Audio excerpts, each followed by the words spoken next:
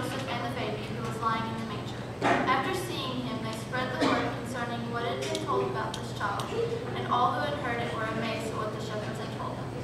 The shepherds returned, glorifying and praising God for all of